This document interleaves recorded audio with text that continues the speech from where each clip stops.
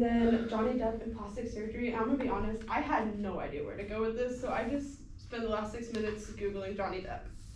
So Johnny Depp was born in Kentucky. He was the youngest of four children, and with his father's job, they moved a lot, so he never had like a place really that he called home.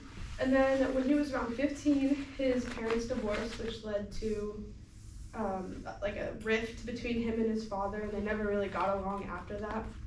Um, he got his first like acting job on a low budget film, but honestly, it is a very like like iconic film, so it's not so much as bad as it seemed in the moment. But it was A Nightmare on Elm Street in 1984, um, and almost instantly he became known as like an American heartthrob, and like all the girls just like were obsessed with him. And his current movies, he's known for a lot, but um, especially the Pirates of the Caribbean franchise. Like I don't even know how many movies there are of those. Rango, which I don't know if anybody remembers that one. It was very like it was here and then it wasn't. Like it wasn't a great movie.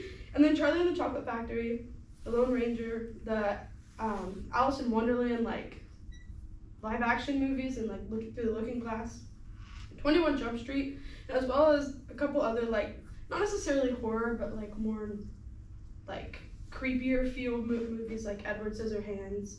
Um, but I would say that my favorite movie, this is like says a lot about me because out of all of these great movies that he's done, my favorite movie is Crybaby, which is a very old movie and like I mean it's not that old, but like it's like an, one of his first movies and takes place in like the 50s and um, just like the typical like plot lines that you would see in a teenage movie. Not anything crazy, but yeah.